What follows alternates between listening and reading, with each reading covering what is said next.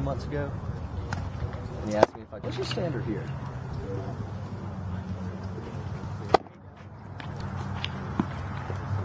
Saved the best for last, though.